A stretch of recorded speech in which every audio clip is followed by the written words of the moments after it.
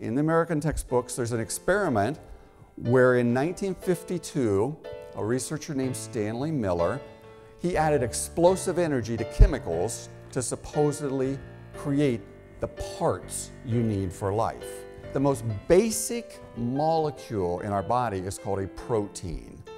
Now, they're not all the same. Our hair is made out of a certain protein, our skin is a different protein, hemoglobin in our blood is a completely different protein. The proteins are like a long chain where the beads, the different colored beads, are amino acids.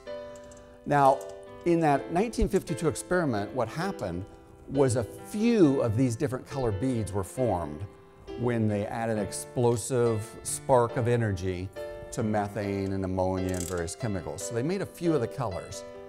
Every form of life has 20 different colors. They didn't make all of them. They, they all are like right hand and left hand gloves. If you look at a right hand glove and a left hand glove, they're essentially identical and yet you can't get the left hand glove on your right hand. Every time this experiment is run, you get both and yet life only uses the left-hand gloves.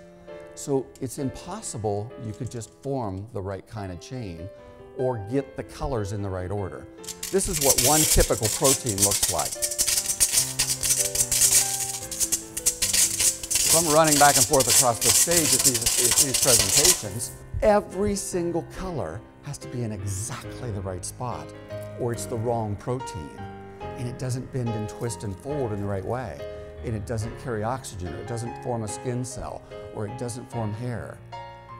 And it is impossible just by randomly grabbing colors to get them in the right spot. They were placed there just like the parts of the pin are specifically designed to be a pin, the molecules are specifically designed to form and work in exactly the right way. And it becomes obvious